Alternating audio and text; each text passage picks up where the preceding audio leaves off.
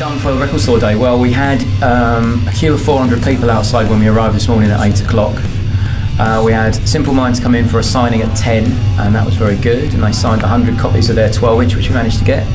Uh, Billy Bragg came in at midday and did some busking for us, busked for the queue, busked outside, stopped the traffic. Um, that was really good. And we've been getting through those 400 people that have been queuing up, and we're just trying to sell as many records as we can and make sure that people can get at least something out of Record Store Day because it. Um, we had people queuing from two o'clock last night. Um, a guy from Spain come over. He was in here at four.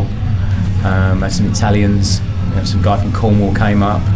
Um, yeah, a lot of people spent a long time queuing. Guy got got the record he wanted, the last one, and he had started queuing at ten to six.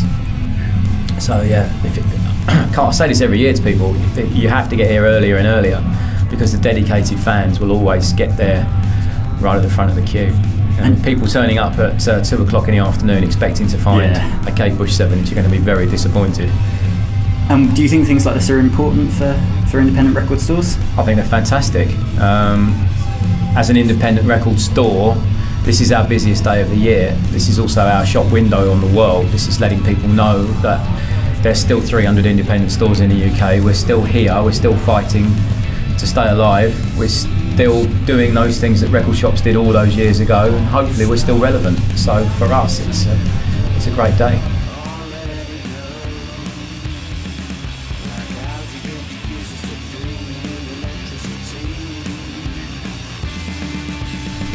Um, sorry, I'm just trying to think. Sorry, can I ask you? Uh, I've got a personal obsession. Uh, you know, Arctic Monkeys. Uh, Arctic is- Monkeys? Yeah. You know, new single. R U Mine. Have you sold any? We've sold out of it. Oh. Yeah, uh, all gone. Yeah, they, they went uh, a couple of hours ago. Um, sorry about that. No, Can't I'm- help you there. No, I'm glad that. Yeah, they've all gone.